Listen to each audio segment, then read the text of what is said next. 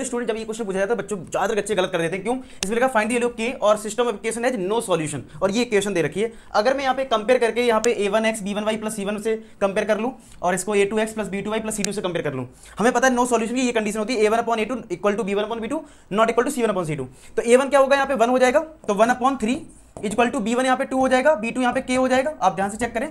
सी one आपका minus five हो जाएगा और सी टू आपका माइनस का फिफ्टीन हो जाएगा। तो बच्चे करते क्या है? इसमें सॉल्व करते हैं। तो के इधर गया थ्री इधर गया। तो के किलो क्या जाएगी सिक्स और ये सिक्स आंसर लेके छोड़ाएँगे लेकिन गलती यही होती है। होता क्या है? हमें इसको भी सॉल्व करना होता है। तो जब आप इसको सॉल्व करोगे तो माइनस माइनस कट गया। वन बाई थ्री आया। अब के इधर जाएगा थ्री इधर जाएगा। तो के आएगा नॉट इक्वल टू सिक्स यहाँ पे आ रहा सिक्स यहाँ पे नॉट इक्वल टू सिक्स तो फाइनल आंसर आएगा no value of K no value of K इसका आंसर होगा। हमें के की वैल्यू कुछ भी नहीं मिलेगी क्योंकि यहाँ पे के नॉट इक्वल टू सिक्स यहाँ पे के इक्वल टू सिक्स एक में बोल रहा है के सिक्स नहीं होगा, एक में सिक्स है। तो फाइनल आंसर होगा no value of K I hope आपको ये समझ में आया और ये गलती आप पेपर में नहीं करेंगे।